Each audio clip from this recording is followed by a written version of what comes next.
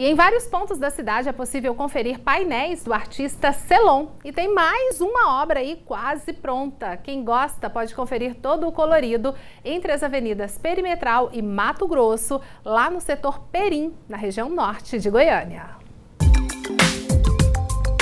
São 500 metros quadrados de um imenso painel que agora dá vida a uma parede antiga. Aos poucos, o azul, branco, amarelo e vermelho vão ganhando formas geométricas coloridas, marca registrada do artista goiano.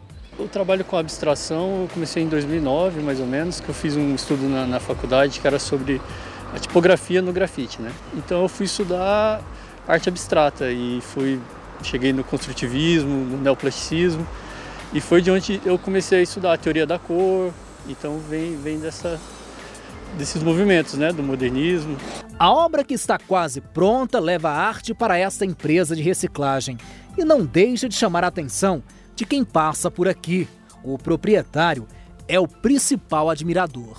Quando você olha assim na reciclagem, você vê tudo colorido, você vê papelão, você vê plástico, vê garrafa de pet, vê vários papéis coloridos. Então, na hora que você olha assim essa fachada, você lembra muito a, a, a visão da reciclagem. Então, achei, achei que combinou demais a, o contraste com o nosso serviço.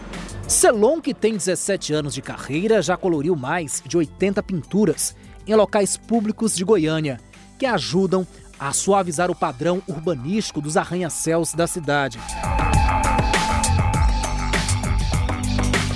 Um dos mais conhecidos é este painel na área 2 da PUC Goiás, no setor universitário. A obra é uma criação inédita do trabalho dele batizado de Projeto Invisível e faz uma referência à trajetória do artista.